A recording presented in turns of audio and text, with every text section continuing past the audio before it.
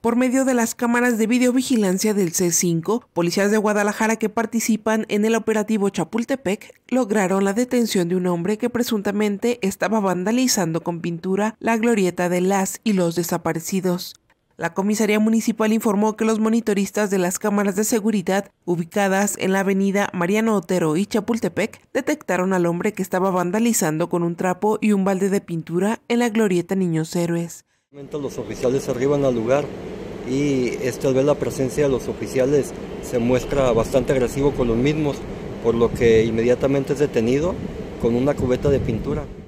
El detenido se identificó como Giovanni de Jesús N de 28 años, mismo que fue llevado ante el juez cívico, el cual determinará la sanción. Informó para Noti 13 Elizabeth Ibal.